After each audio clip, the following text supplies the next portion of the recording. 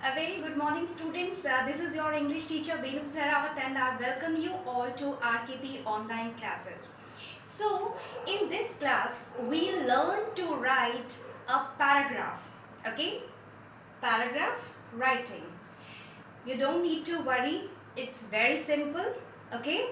So but of course there are certain things which we need to keep in our mind while writing or while producing a good paragraph okay? And these are all very simple thing. Uh, i'm sure you are uh, already uh, you must be aware uh, of all these things. But it's always good to you know improve ourselves on all the areas okay? All right. So beta uh, before we proceed further what exactly is paragraph uh, writing? Now paragraph can be about uh, a person okay? It can be on uh, it can be about a place. It can be about uh, a person's uh, facial features. How does he look like? Or it may be about his uh, physical appearance. It may be about his nature. It may be about an electronic machine like a refrigerator or air conditioner okay?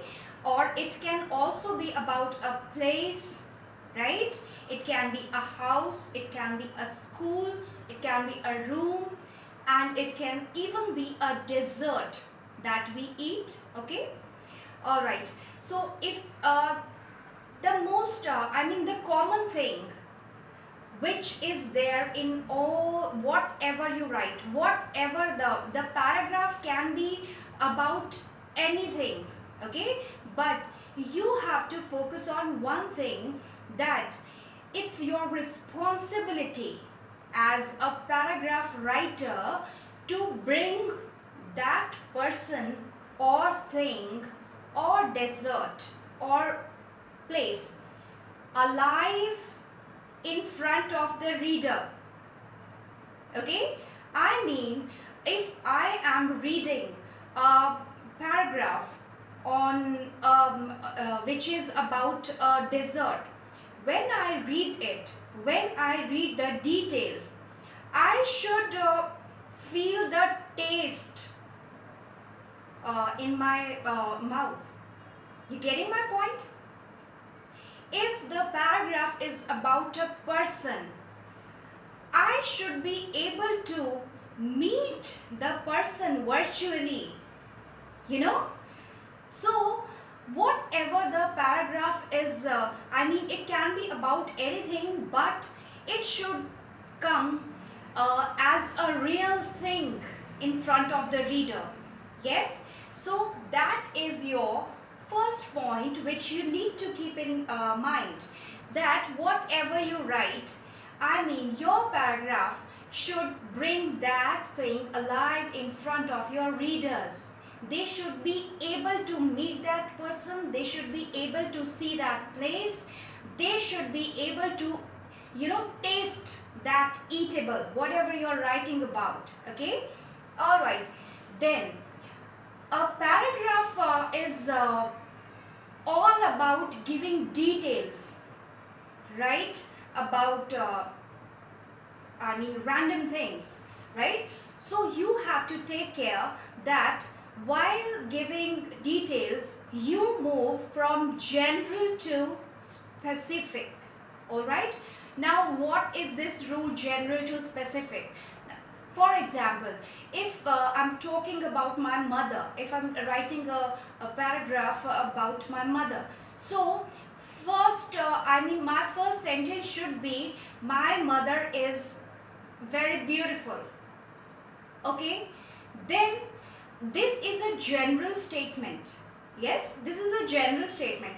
But then after that I'll be moving further specifically right? For example then I can say she has whitish complexion. She has uh, large black eyes big black eyes. She has long black hair. So you see first I generally I told you that uh, in my through my paragraph that she's beautiful. But then I am giving you minute details about the features right? So this is exactly how you are supposed to move. For example if it is about an electronic machine then you should say uh, that uh, it is uh, my uh, my computer okay or my laptop it is of silver gray gray color okay? And then you will give more details about that specific okay? Maybe its features all right then you will talk about that all right then uh, unified piece. Your paragraph should have unity uh, uh, you know among the sentences which you have written whatever you write all your sentences should hit back to the main topic alright? While writing don't get distracted don't lose your direction okay? So uh, finally every sentence of your paragraph should relate to the main topic. Then interconnected ideas. Now when you write better there uh, i mean it's very important that you have a logical and a proper sequence of the ideas of whatever you are writing okay? I mean suppose if you're talking about uh, facial features of a person and then in the mid you you haven't uh, ended uh, up uh, with that i mean you haven't finished uh, yet talking about the features and suddenly out of the blue you just start talking about the, uh, qualities that the person has. No. It will confuse your reader. Okay? The interconnectivity that will be broken. Yes? So always make sure if you're talking about facial features finish that first and then move to the next uh, uh, category okay? And of course there are some good words to use and to uh, show interconnectivity like uh, however moreover okay? And furthermore all right when you are talking about a person's quality you have talked about one uh, quality okay? For example if you have said my mother is uh, very beautiful and uh, she has a very kind heart. In the next line because you are adding up uh, uh, into her uh, good qualities an extra thing you can say furthermore or furthermore or moreover. Okay? She takes care uh, she is very helpful to all the persons in the neighborhood as well because that is an addition to that okay? Next is this is I mean in all the writing topics I always you know time and again I keep repeating this thing. Your language. You need to be very careful about that. I mean whatever you write it's a proof. It's quite evident. I mean the evidence is there in front of the reader. It should be completely error free okay? You know good words that's very good. Okay? Uh, excellent for you. Uh, if you are very sure go ahead use them. But uh, it's not necessary. You can use simple language okay? Use simple language and make sure that it is error free the structures you are using they are absolutely correct okay? So and uh, this paragraph writing is all about uh, you know talking about the details of uh, uh, something or someone. So make sure that you use the adjectives appropriately.